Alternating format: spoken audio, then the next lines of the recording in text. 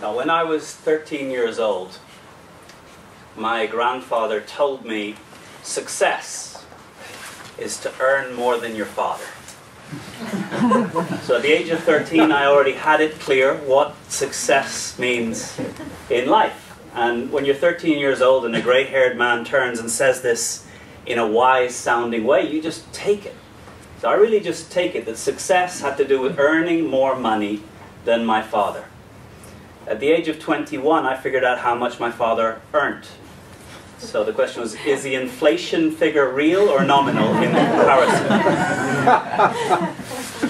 but uh, I didn't ever think about being an entrepreneur. In reality, I moved to Barcelona because I met a girl.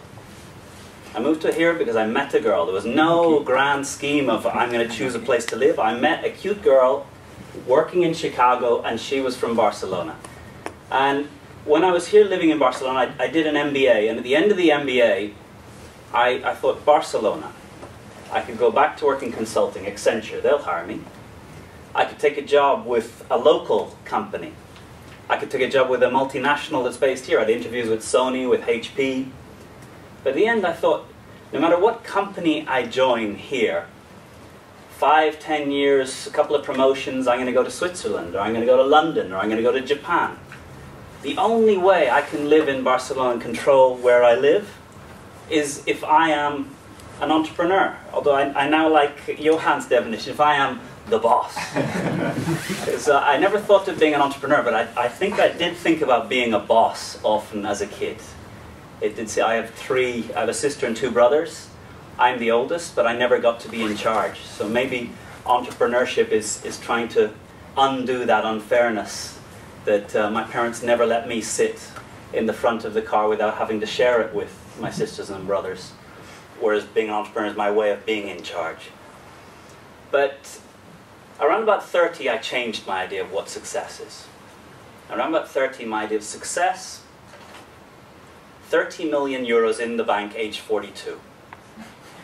And I was on my third business, uh, and I thought, you know, this is okay. I need to build four businesses. Each one is about a 10 time multiple of the previous one. With my fourth business, needs to be a 100 million IPO where I own about 30% of it.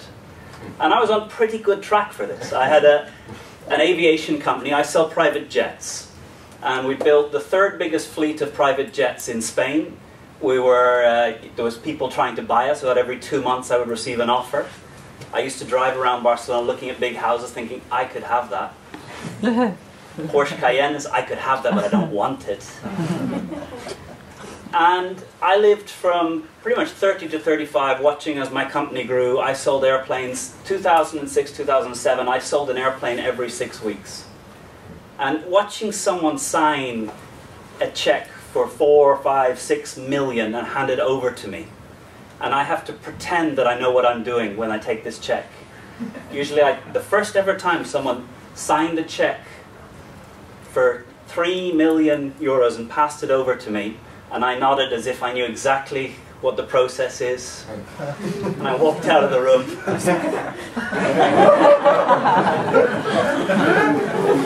what do you do if you lose something like this? but it, was a highlight of, of those times. But uh, 2008, Lehman collapsed. Uh, about a month after Lehman collapsed, the financing for almost every aircraft we own suddenly completely changed.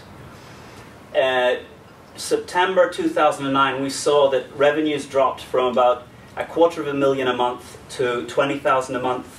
By December, they were down at zero. There was no one flying private jet. I had about 45 employees directly and indirectly employed. We had 1.3 million cash in the bank, and I watched as it just went down by 200,000 month after month after month. And so at the age of 35, I found myself hitting the point where I had to let everyone go from the company because I was then going to enter the criminal period where you cannot pay the social security of your employees. And uh, I would drive around Barcelona, I'd look at those big houses that I could have owned And I would think to myself, if only I'd taken the offer that I was given, if only I'd made a different decision, if only I'd laid those employees off nine months before when I knew, why, why wasn't I strong enough to take the decisions I knew I needed to make? And I found myself divorced. And the divorce came as a, it was a price of when you're giving everything to try and save a sinking ship you're not giving to the other aspects of your life. And I think a good life is not just one pillar, it's five or ten pillars. and when you stop feeding one of those pillars, it starts withering away and it's not there. So, 35 years old, I found that I was going bankrupt, I was alone, I was thinking day after day, what happened? Why have I done this? What did I do to deserve being here? And it, it was a year of very much feeling sorry for myself and asking questions that they're not very good questions. What have I done to deserve this? There's no answer, and even if there was an answer, it's about something in the past. That was so probably for me, the, the learning that is most painfully earned and most important to me is the three most important things in life faith, hope, and love. Faith everything has happened for a reason. I may understand it or may not, but all that matters is that I accept that I'm right here. Any emotional baggage you carry into this room, any blame you hold from the past, any feeling that you should have done something different in the past is a burden. And as long as you carry it, it's stopping you being able to be here now. So I figured out a way of stopping blaming my dad for some of the things that I feel he didn't do when I was a kid. He never showed up to watch me score a goal at football. All my other friends, their dads were on the touchline as they scored. My dad, not. And I carried that as a little bit of a baggage for most of my life until about 35.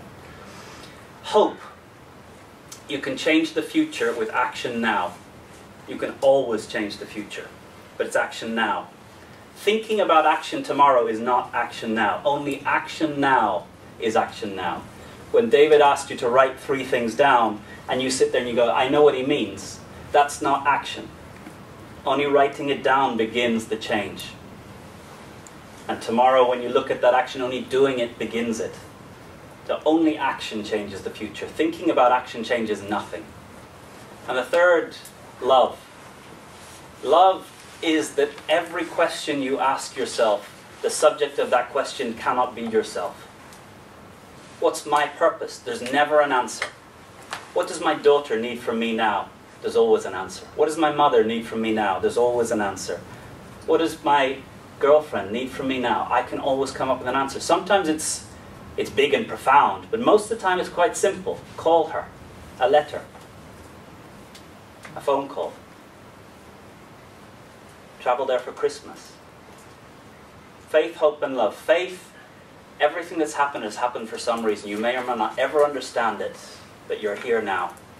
Hope, action now changes the future. No matter where you are, no matter how you feel, action now changes it. And love, stop asking any question that has you at the center. And that begins where customer service becomes more important. The more you serve, the more you get. The more you give, the more you get. And I think what I have got in listening to the four stories that David, Johan, Jose Manuel, and Andre have shared with us is being an entrepreneur forces you to give because you have nothing.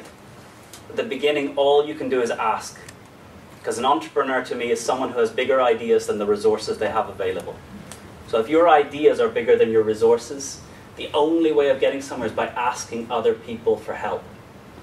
And I think entrepreneurship clarifies and cuts through in a way that few other things do because you're forced to go and ask and speak to your friends and speak to your family and ask them for help in a real way. And I think all the lessons that I've learned in entrepreneurship have brought me from an arrogant consultant aged 26, 27 who thought the world owed me a living to a somewhat humble entrepreneur that realizes every day I wake up and I better give the world something because I'm owed nothing in return. So, what I would like is your questions to figure out how you can start taking action, how you can start giving your service to the world. Because I think entrepreneurship is a euphemism. It's a nice word and it's bandied around. But you've got to pick a problem in the world that you want to be part of fixing.